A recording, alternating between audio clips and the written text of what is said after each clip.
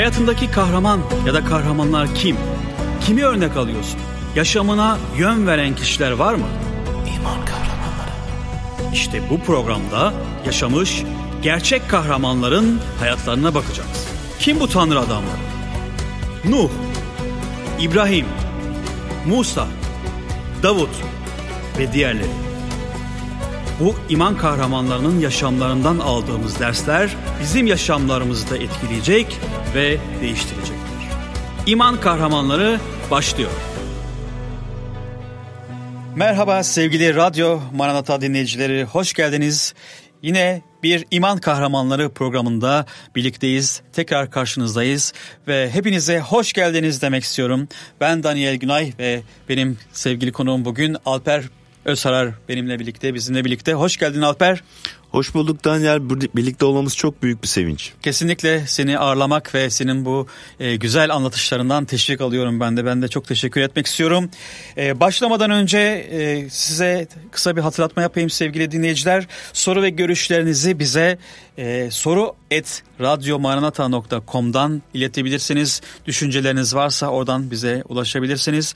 Ayrıca bizi sosyal medya hesapları üzerinden de takip edebilirsiniz sevgili dinleyiciler. Arama kısmına radyo Maranata yazmanız yeterli. Aynı zamanda yayınımızı YouTube üzerinden de takip edebilir, bizi izleyebilirsiniz sevgili dinleyiciler. Evet İman Kahramanları programında biz sevgili Alper kardeşimle beraber birçok iman kahramanına baktık. Kutsal kitapta geçen e, kimdi bunlar? Örneğin Nuh'un hayatına baktık, e, Yusuf'un hayatına baktık, İbrahim peygambere baktık, Musa ve Yeşu'nun hayatına baktık. E, onların hayatlarından teşvikler aldık, bereketler aldık ve bugün de e, Yeşu'dan sonra tabii başka olaylar da oldu ama Davut'un, e, Davut, Kral Davut'un ya da Peygamber Davut'un hayatına bakacağız. E, biliyorsunuz e, Davut'un babası İşay'dı ve onun e, 8 oğlu vardı. Ama ondan önce e, aslında İsrail halkı evet Yeşu döneminden ön, sonra e, kendi başlarına yaşadılar. Başlarında bir kral yoktu, Yeşu gibi bir yönetici yoktu, Musa gibi bir yönetici yoktu. Dönem dönem hakimler onların başındaydı ve İsrail halkı maalesef bir bocalama e, dönemine girdi. Ne zaman Tanrı'ya yaklaşsalar, ne zaman Tanrı'ya gitseler, Tanrı onu onları düşmanların elinden kurtarıyordu. Onlara esenlik ve bereket veriyordu ama İsrail halkı ne zaman tekrardan Tanrı'dan uzaklaşsalar o zaman tekrar düşmanları tarafından tehdit ediliyor, ediliyordu. Zorluklar, sıkıntıları vardı ve onu görüyoruz hakimler döneminde. İsrail halkı kendi bildiğine göre yaşıyordu ve bunun sonucunda da maalesef e, birçok zorluklar, sıkıntılar e, çekiyorlardı düşmanları tarafından. Daha sonra tabii ki Tanrı peygamber olarak Samuel'i seçti. Belki Samuel'i başka bir zaman e, işleyebiliriz, onun üzerinde konuşabiliriz Samuel peygamber hakkında ama bugün Davut peygambere bakacağız ama Davut'tan önce dediğim gibi İsrail'e seçilen bir e, kral vardı sevgili Alper kardeşim biliyorsun. E, bu kral kimdi? Biraz ondan bize bahsedebilir misin? Davut'tan önceki İsrail'deki ilk kral kimdi? Evet e, İsrail halkı dediğin gibi Yaşın ölümünden sonra bir hakimler dönemine girdi. Bu ruhsal bir kriz dönemiydi aslında e, halk için. Herkes çünkü kendi gözünde doğru olanı yapıyordu. Böyle okuyoruz kutsal kitaba göre. Ve halk bir dönem geldi ki artık bir kral istemeye başladılar. Yani diğer uluslara baktılar. Evet diğer ulusların kralları var. Dediler ki biz de diğer uluslar gibi bizim de bir kralımız olsun bizim savaşlarımıza bize öncülük etsin. Ve dönemin de tabii ki aslında halkın önderi olan Samuel peygamber kaldı ki hakimlerin sonuncusu olarak e, kimi kaynaklara göre ifade edilir. Hı hı. E, Samuel bunu duyduğu zaman aslında büyük bir üzüntü yaşadı ve Rab buna gücendi çünkü Rab kendisi kralıydı halkın ve bir insan kralın istenmesi halk adına bu aslında Tanrı'nın yollarından çok dünyanın yollarını izlemek gibi Hı. bir durumu vardı. Ve kendi krallarını reddetmek ve dünyasal bir kral aslında yani gerçek kral olan Tanrı'yı reddedip Evet. Dünyasal bir kral. Kesinlikle öyle. Eğer Rabbin buyruklarına, onun yasalarına doğru, düzgün bir şekilde uysalardı gerçekten de diğer uluslar gibi bir insan kralı ihtiyaçları olmayacaktı belki Daniel ama halk inatçılık etti. Hmm. Halk ille de kral isteyince Tanrı bunu onlara ver dedi Samuel'e ve Samuel'e bir kişiyi gösterdi. Benyamin oymağından e, Kiş oğlu Saul adlı bir kişiyi Tanrı seçti ve Samuel'i e, daha doğrusu onu Samuel'e yönlendirdi. Şöyle ki onun da ilginç bir olayı var. Ee, Saul'un babasının eşeklerinin kaybolduğunu okuyoruz ve Saul o eşekleri bulmak için uzun bir yol gitti ve ondan sonra bilici olarak da bilinen e, peygamber o dönemde peygamberlere bilici de denirdi. E, eşeklerinin yerini sormak için onu Samuel'e yönlendirdiler ve e, Saul Samuel'e geldiği zaman Tanrı Samuel'e konuştu. İşte dedi İsrail'in kralı olarak mesedeceğin kişi bu kişidir. Hı hı. Ve ondan sonra Saul'u bütün insanların gözünün önünde e, aslında mesederek e, kral olarak atamış oldu ve gerçekten Saul'u düşündüğümüz zaman e, çok yakışıklı, gerçekten uzun boylu, boylu poslu, yani. uzun boylu, güçlü yapılı bir kişiydi. Yani şöyle okuyoruz, bütün İsraillerin üzerinden bir kafa daha uzundu e, Saul yani görkemli bir e, kral olarak tasvir ediliyor ve gerçekten de halk ondan etkilendi işte kral e, olarak e, gerçekten uygun bir kişi olduğu görüldü ve Tanrı da Saul'u seçti. Fakat Saul maalesef Tanrı'nın istediği özelliklere sahip biri değildi Daniel. Çünkü biz biliyorsun iman kahramanları serimiz boyunca sürekli olarak vurguladığımız şey Tanrı'ya güvenmek evet. oldu. Yani kendi gücümüze güvenmek ya da insanlara bakmak değil ama e, Tanrı'dan güç alarak yaşamak konusunu biz sürekli vurguladık vurguladık. E, Saul işte bu anlamda zayıftı. Saul bu anlamda e, gerçekten Tanrı'nın istediği nitelikte bir yüreğe sahip değildi, bir imana sahip değildi. O nedenle Saul'un adı zaten iman kahramanları arasında geçmiyor. Evet. Senin de bildiğin gibi.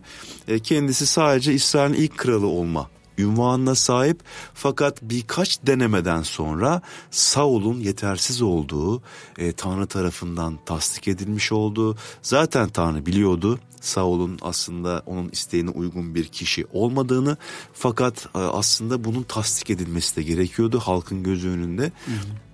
E, gerçekten Saul birkaç e, olayda sınandığı zaman Tanrı yerine insandan korkarak Evet. Kendi e, yüceliğini düşünerek hı hı. sanki bu krallık ona Tanrı tarafından verilmemiş de kendi doğal hakkıymış gibi. Hı hı. E, bu halk da sanki Tanrı'nın halkı değil de kendi halkıymış gibi tavırlar sergilemeye başlayınca kendi kararlarını evet. vermeye başlayınca e, Samuel ona geldi ve dedi ki krallık senden bugün alındı ve Tanrı onu senden daha iyi birine vermeye karar verdi.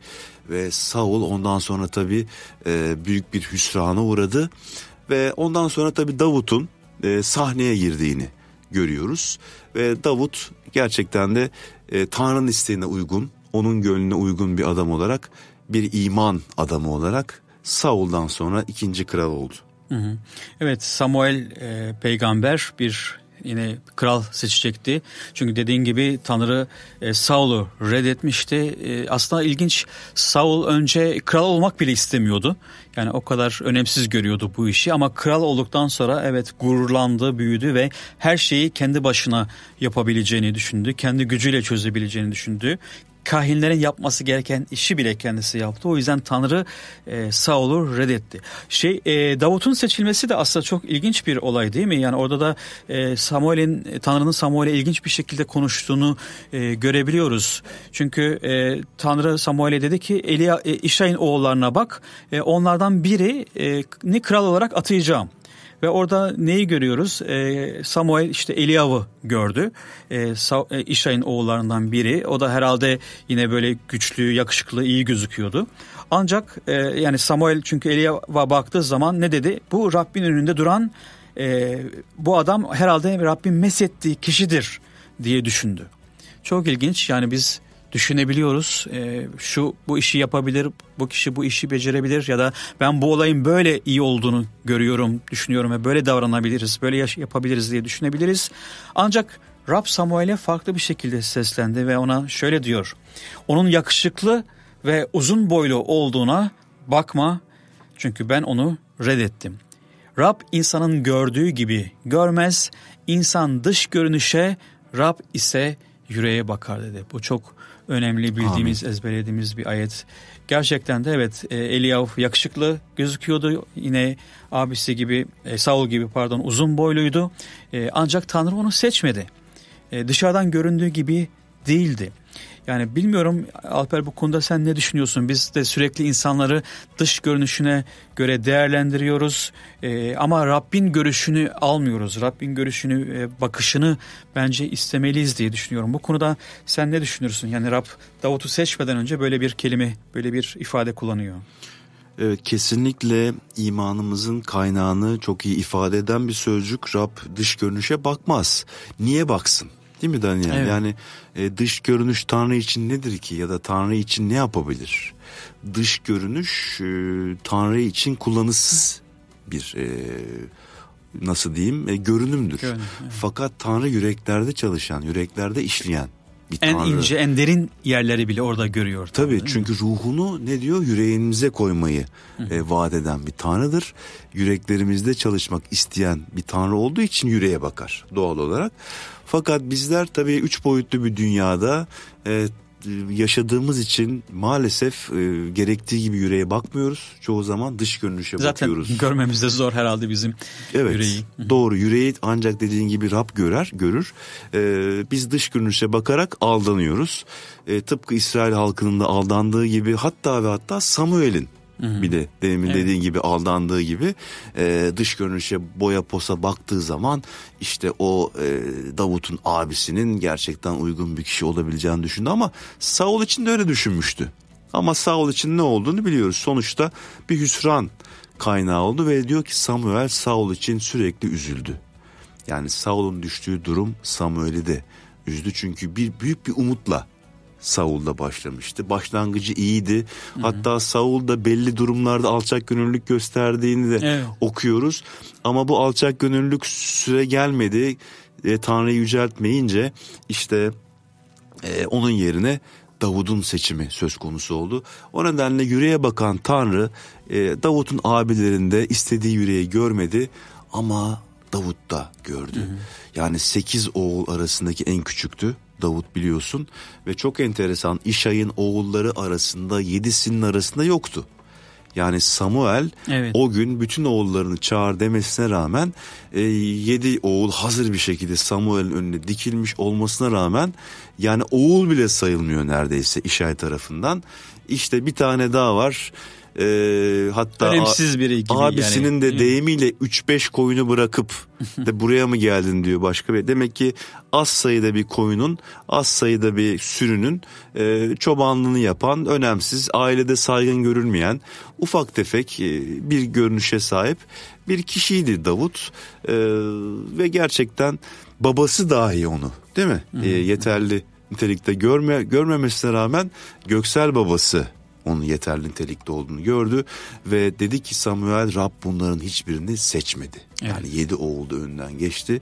Başka biri daha yok mu deyince İşay Davut'u çağırtmak zorunda kaldı ve Davut e, Samuel'in önüne geldiğinde Rab Samuel'e dedi işte seçtiğim kişi budur. Onu yağla meset, onu İsrail kralı olarak Saul'un yerine atadım. Hı hı hı. Ve orada aslında dediğin gibi çok e, ilginç bir olay oluyor. E, Samuel Davut'u seçtikten sonra öyle okuyoruz. Diyor ki Rabbin ruhu Davut'un üzerine güçlü bir, bir biçimde indi. Düşünebiliyor musunuz? Senin de dediğin gibi gerçekten sıradan bir kişiydi. Bunu zaten Davut daha sonraki zamanlarda da çok defa dile getiriyor. Sıradan biriydi. Bir çoban çobandı. E, sürüyü gidiyordu. Önemsiz biriydi. Ama Tanrı Davut'un yüreğine baktı. Davut'un yüreğini gördü. Onun yüreğindeki aslında imanı gördü. Çünkü Davut herhalde o kuzuları, koyunları, e, başka diğer o hayvanları otlatırken sanıyorum Tanrı ile çok iyi bir zaman geçiriyordu. Ona yakındı sürekli Tanrı'ya sesleniyordu. Herhalde geceleri gökyüzüne baktığı zaman yıldızlara bakarken Tanrı'yı düşünüyordu. Tanrı'nın sözlerini düşünüyordu. Tanrı'nın yaptıklarını düşünüyordu. Birçok mezmurlarda bunu okuyoruz. Örneğin mesela Mezmur 63'te e, benim de çok sevdiğim mezmurlardan bir tanesi e, şöyle okuyoruz orada. Diyor ki ey Tanrı sensin benim Tanrım. Seni çok özlüyorum. Canım sana susamış kurak yorucu susuz bir diyarda bütün varlığımla seni arıyorum. Kutsal yerde baktım sana gücünü görkemini gö- görkemini görmek için. Ve sonra şöyle devam ediyor Davut. Diyor ki yatağıma uzanınca seni anarım. Gece boyunca derin derin seni düşünürüm. Çünkü sen bana yardımcı oldun. Kanatlarının gölgesinde sevincimi dile getiririm. Canım sana sımsıkı sarılır. Sağ elin bana destek olur diyor. Ve yine İncil'de okuduğumuz kadarıyla e, Rabbin gönlüne uygun bir kişiydi. Rabbin istediği bir kişiydi Davut. O yüzden Tanrı Davut'u seçti ve bunda da ne kadar haklı olduğunu görüyoruz. Aslında hemen Davut evet daha henüz kral seçilmemişti ama e, hemen çok hepimizin iyi bildiği bir olay var. E, Davut'un e, işte Golyat'ı öldürmesi olayı var. E, burada da çok büyük bir iman örneğini görüyoruz Davut'un hayatında. Ama istiyorsan bu Davut ve Golyat e, örneğini ara verelim kısa bir aradan sonra istiyorsan Alper bu Davut ve Golyat'ın durumunu biraz bakalım. Oradaki iman hareketini biraz görelim. E, sevgili dinleyiciler kısa bir ara veriyoruz. İstiyorsanız e, bir kahve bir çay alabilirsiniz kendinize. E, aradan sonra görüşeceğiz.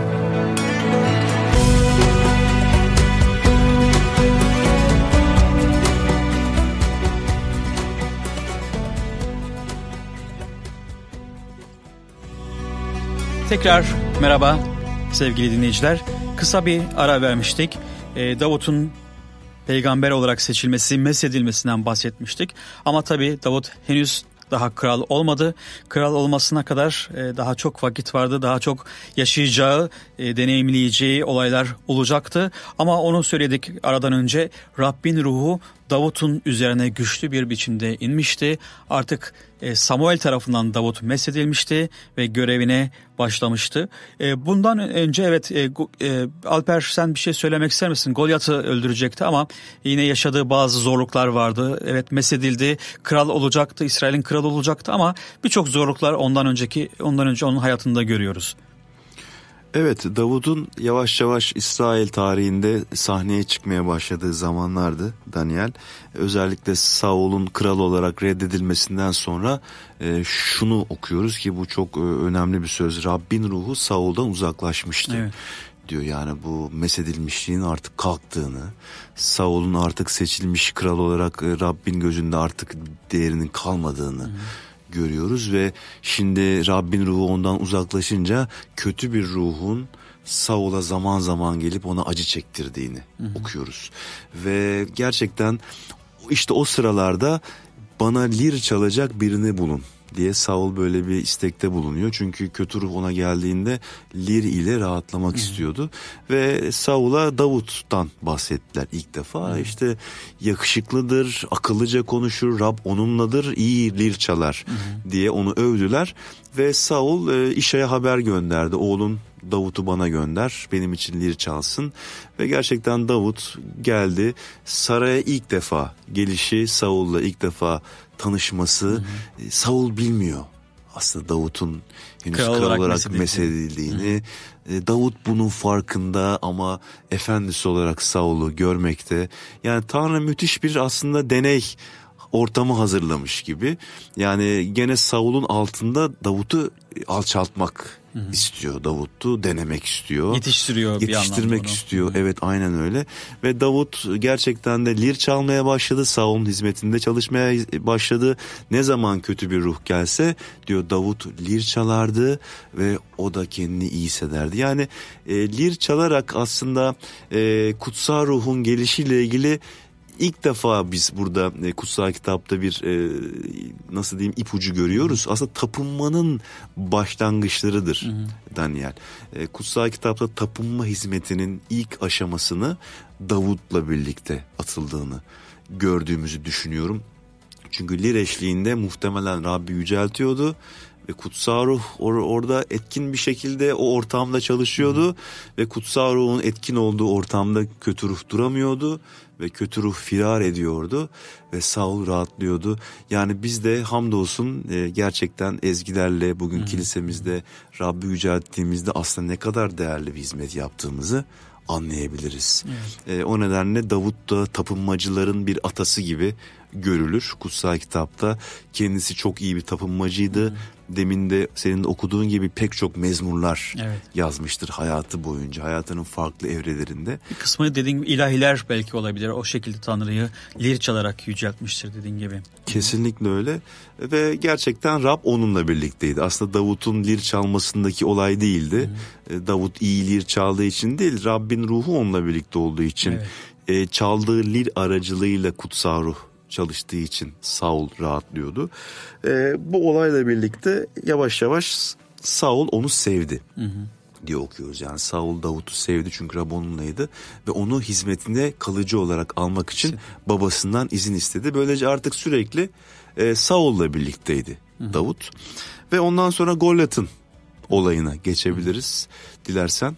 Tabii ama o arada da aslında e, arada yine e, aynı zamanlarda yavaş yavaş da tabii Golyat'ı öldürdükten sonra sanıyorum e, Davut'u öldürmek istedi. Yani ona lir çalarken, ezgiler sunarken, e, ilahiler çalarken herhalde oklar fırlatarak zaman zaman e, Davut'u da öldürmek istedi. Ama e, ondan önce işte en önemli olaya geçelim.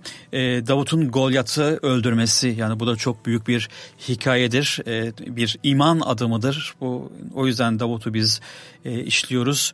E, kendisinden uzun olan bir dev olan Golyat'ı nasıl yendiğini biz 1. Samuel kitabında 17. bölümde e, görüyoruz. İstiyorsanız siz de oradan takip edebilirsiniz. Biliyorsunuz İsrail halkıyla Filistli Filist halkı arasında bir e, düşmanlık vardı. Filist halkı sürekli İsrail halkını tehdit ediyordu ve e, onlara karşı geliyordu. İşte bu olay bundan sonra ortaya çıkıyor ve orada Golyat adında e, bir dev e, ile karşılaşıyoruz ve bu dev e, aslında savaş yapacaklardı ve Go, e, Golyat İsrail ordusuna sesleniyor. Neden savaş düzeni aldınız? Ben Filistliyim. Siz ise Saul'un kölelerisiniz diyor onlara. Eğer aranızdan karşıma çıkacak birini bulursanız gelin dövüşelim. Eğer beni yenip öldürebilirse biz sizin köleniz oluruz. Yok ben üstün gelirsem o zaman e, onu yok edebilirsem siz bizim kölemiz olursunuz. Bize kulluk edersiniz de bir meydan okuma yapıyor Golyat. Ve e, aslında gerçekten de bu meydan okumanın karşısında e, durabilecek herhalde çok fazla kimse yoktur.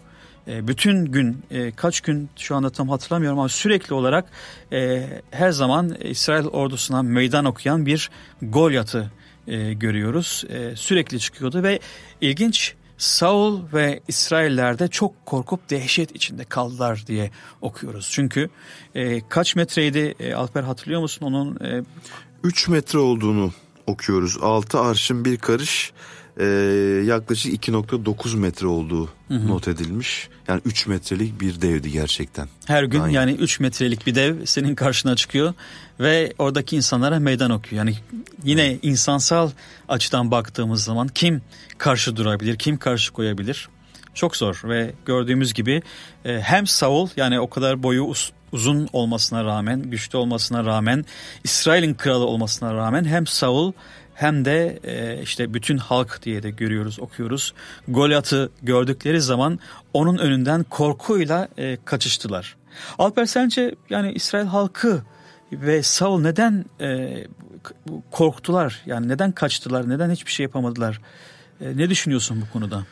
Ee, Evet Daniel e, 40 gün boyunca diyor evet. sabah akşam ortaya çıkıp meydan okudu Filistli Golyat ve dediğin gibi 3 metrelik bir dev kendisi diyor doğuştan beri savaşçıdır. Yani Saul Golyat'ı tanımladığı zaman Davut'a onu tanıtırken böyle söylüyor.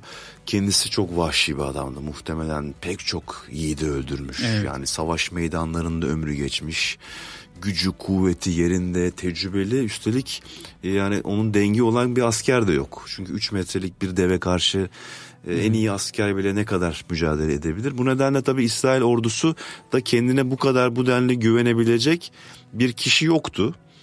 Aslında şey pardon lafını kestim ama e, kut- e, şöyle de okuyoruz yani İsrail'in oğulları vardı ve onların diyor üç büyük oğlu Saul'la birlikte savaşa katılmıştı. Yani hepsinin savaş deneyimi vardı ama e, dediğin gibi gerçekten bu 3 metre kadar e, bir kişinin karşısında duracak kadar güçleri cesaretleri yoktu ve Davut da dediğin gibi e, onların arasında en küçükleri en küçükleriydi yani hiç e, Davut'un karşı şey Golyat'ın karşısına çıkabilecek kadar bir gücü yoktu normal şartlarda.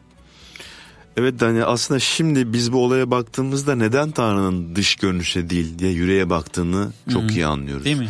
Yani dış görünüşe bakılsa bile işte dediğin gibi Davut'un en büyük abi Eliaf ve diğer iki büyük abiyi onlar orduyla ordulardı. E, üç tane e, Davut'un abileri Saul'la birlikteydiler ve 40 gün boyunca bu Golyat'ın e, meydan okumasını dinlediler Hı. ve sessiz kaldılar. Neden sessiz kaldılar değil mi? Evet. Onlar da İşay'ın oğlu değiller miydi? Onlar da Davut'tan daha büyük, daha iri yarı kişiler değiller miydi? Hı hı. Neden onlar ortaya çıkmadılar? İşte çünkü o yürekteki iman boşluğundan dolayı, hı hı. yürekte bir zayıflık, Rabbe güven olmadığı için hı hı. Daniel o devin karşısına çıkmak için kendilerinde e, Rab'den gelen bir güven görmediler. Hı hı. Diğer İsrailler de aynı şekildeydi. Maalesef hakimler döneminden de gelen hı hı. bu imansızlık e, fırtınası mı diyeyim artık hı hı. İsrail hakkında bayağı bir yayılmıştı. Hı hı. İmanlı bulmak gerçekten herhalde o dönemde çok zordu. Hı hı diye düşünüyorum. Hani Samuel gibi, Davut gibi hı hı. tek tük e, İsrail halkı içerisinde iman e, kıvılcımlarının hı hı. E, ateşlerinin yandığı çok az sayıda hı. İsrailli vardı ve koca İsrail ordusunda bulunmaması Kimsenin büyük bir evet. acı, büyük bir utançtır İsrail hı. halkı için. Hı. Yani tanrılarını yeteri kadar tanımıyordu da diyebiliriz. Tanımıyorlardı belki e, böyle söyleyebiliriz. Çünkü daha önceki programlarda da söz ettiğimiz gibi yani, yani Yeşu döneminde de aynı şekilde büyük bir ordu vardı. Karşılarında yine güçlü kişiler vardı ama o iman ve Tanrı'nın neler yapabileceklerine olan güven e, onları zafere kavuşturdu. Evet burada da evet e, Davut'a baktığımız zaman e, Davut biliyorsun geliyor e, bu savaş meydanına ve orada aslında çok ilginç bir kelime kullanıyor Davut. Bu çok e, ilginç benim de çok hoşuma giden bir söz. E, Davut yanındakilere diyor ki yani bu sünnetsiz Filisli kim oluyor da yaşayan Tanrı'nın ordusuna meydan okuyor. Yani bu söz beni çok etkiliyor her zaman için. Yani bu evet 3 metre boyunda olabilir, çok güçlü olabilir, gücü her şeye yetiyor gibi gözükebilir ama Hani bu kim kim ki karşıdaki bu kişi o kadar güçlü olmasına rağmen yaşayan Tanrı'nın ordusuna nasıl meydan okuyabilir? Çünkü Davut e, gerçekten de e, Tanrı'ya çok bağımlıydı. Tanrı'ya güveniyordu ve bu sözü söyledikten sonra e, ilginç bir şey yani abileri e, Davut'a öfkeleniyorlar. Yani sen çobansın ya dediğin gibi e, Alper sen de söz etmiştin. Yani çöldeki 3-5 koyunu kime bıraktın? Ne işin var burada? Sen bir çobansın buraya savaşı görmeye mi geldin? Ne kadar kendini beğenmişsin sen gibi sözlerle aslında Davut'u aşağıladılar ve onun kötü yürekli olduğunu düşündüler. E, Davut ise sadece bir e, çobandı ama bu çobanlık döneminde Tanrı'yla da birçok e, zafer kazandı. E, hatırlarsan e, birkaç hayvan öldürmüştü değil mi Alper söz edebilir misin? Kim kimleri öldürmüştü? Hangi hayvanları öldürmüştü daha doğrusu? Evet Davut yani abisinin bu kadar panik olması çok enteresan değil mi? Yani Davut'un diyor adamlarla konuştuğunu görünce öfkelendi. Aslında Davut bir şeyler yapabilir mi? diye belki içinden içinden bir korkuyusunu da orada saklayamadı. Çünkü Davut'un yani imanlı olduğuna dair herhalde abisinde ya da ailesinde belli bir kanı belki oluşmuştu. Yani Davut gerçekten senin dediğin gibi büyük bir kıskançlık duydu. Yani Tanrı'nın halkı için kıskançlık duyan bir yüreğe Hı-hı. sahipti. Yani bir Filistli var kendisi sünnetsiz yani sünnetsiz ne demek? Tanrı'nın halkın dışında olan. Evet. Yani o dönemde e, bilmeyen dinleyicilerimiz olabilir. İsrail halkını diğer halklardan ayıran bir işaret olarak İbrahim'den hmm. bu yana bir sünnet e, işaretini Rab halkı için e, belirlemişti. Yani doğan her bebek, her erkek çocuk 8 günlükken sünnet edilerek Tanrı'nın halkına hı girerdi ve Davut da sünnetliydi. Yani hı ve diğer İsrailler gibi Tanrı'nın halkındandı ve bakıyor ki Golyat sünnetsiz. O dış görünüşe bakmıyor. Çok enteresan değil mi? 3 metrelik olduğuna bakmıyor. Baktığı şey şu sünnetsizdir bu adam. Hı-hı. Yani ne demektir? Tanrı'nın halkından değil ki. İsterse 5 metre olsun. Yani Tanrı onun yanında değil. Tanrı yani. onunla birlikte değil ki ama biz ise yaşayan Tanrı'nın ordusuyuz. Hı-hı. Biz ise yaşayan Tanrı'nın halkıyız. Biz sünnetlileriz diye e, aslında ayrımı bu şekilde yapan bir Davut görüyoruz. Evet. Boyla posta değil sünnetli mi sünnetsiz mi diye ayrım yapan iman temelinde kişiyi yargılayan e, bir Davut'u görünce tabi Davut bu nedenle kıskançlık içerisinde meydana atılıyor. Çünkü bakıyor ki kimse yok. Ben tek başıma da olsa bu mücadeleyi veririm. E, hangi hayvanları öldürmüştü diye sordun. Kendisi çobanlık yaparken Tanrı tarafından deneyimlendirilmiş bir kişiydi. Ayı öldürmüştü, aslan da öldürmüştü. E, kurdun ağzından diyor ben e, koyunumu, kuzumu kaparım. Ve Tanrı bunlarda yaptığı gibi beni de bu Filistin'den kurtaracaktır diye müthiş bir imanla adım at- attı. Daniel ve imanın ödülünü hepimizin bildiği gibi çok harika bir şekilde aldı. Hı hı hı. Gerçekten de Tanrı ile yaşadığı bir deneyim vardı Davut'ta. Tanrı'nın neler yapabildiğini kendi hayatında dedi, dediğin gibi aslanı da ve ayının ağzından da hayvanlarını kurtarmıştı ve Tanrı'nın gücünü biliyordu. Ona olan imanı büyüktü. Ve böylece ne e, aslında ona e, Davut'un sonunda kabul ettiler ve Golyat'ın karşısına çıkarken askeri o elbiseleri o teçhizatları verdiler. Ancak Davut onların altında eziliyordu çünkü daha küçüktü ve o o kadar bu e, eşyaları taşıyacak gibi değildi. Ve ilginçtir sadece e, kendi sapanı ve e, işte belki değneği yanında vardı. O sapanla beraber e, Golyat'ın karşısına çıkıyor. Ve düşünebiliyor musun? Yani karşısındaki Goliath yani e, ona şöyle söylüyor. Diyor ki ben köpek miyim ki e, üzerime değnekle geliyorsun? diyerek kendi ilahlarının adıyla diyor Davut'u lanetledi. Ve hemen dedi gel hadi çık karşıma. Madem çıktın senin işte gökteki kuşlara ve kırdaki hayvanlara yem edeceğim. diye e, Davut'a kızdı, bağırdı, çağırdı. E, Davut'un sözleri de çok ilginç. Beni de çok her zaman için etkiliyor. İstiyorsan ben okuyayım e, bu sözleri sevgili Alper.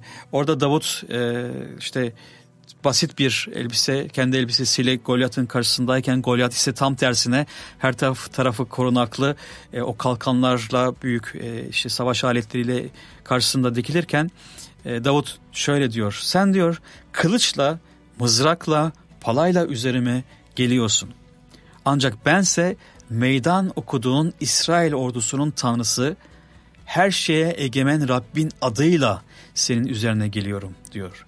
Yani böyle bir e, iman var ve diyor ki sonra Rab seni elime teslim edecek, seni vurup başını gövdenden ayıracağım diyor. Ve burada Davut'un e, Rabbi ne kadar savunduğunu ve e, görebiliyoruz gerçekten. Diyor ki ben her şeye egemen Rabbin adıyla senin üzerine geliyorum. Yoksa yani ben bir hiçim ama Rabbin gücüyle e, her şeyi yapabilirim çünkü her şeye e, gücü yeten bir Tanrı'ya iman ediyorum ve o Tanrı seni benim elime teslim edecektir diyor. Bu harika bir iman değil mi Alperciğim? Amin. Yani evet Daniel gerçekten de harika bir iman. Ee, sadece beş çakıl taşı seçti. Kendisi Saul'un verdiği zırhları da istemedi. Evet. Çünkü bunlara alışık değildi diyor.